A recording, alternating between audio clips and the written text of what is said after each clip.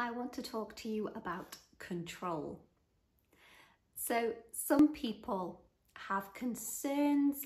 Sometimes the way hypnosis uh, may have been portrayed, um, perhaps in TV or in films, especially some older ones, is somehow this kind of um, loss of control or where someone might be um, do, doing something that they wouldn't normally do to reframe that for you, hypnosis is actually about gaining back control. Hypnosis is about being able to utilize um, your unconscious mind to gain control of those parts of your life that perhaps did seem beyond your control.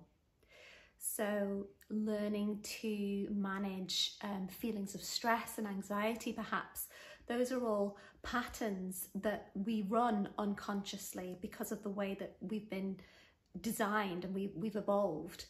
And I can show you how to intersect that and to run and create new patterns. We actually create new neural pathways in the brain. Um, and that's one of the things I just love about hypnosis is it's about it brings in so many different disciplines and so much of it is actually based on on neuroscience. So i can show you how to do some really cool stuff to rewire your own brain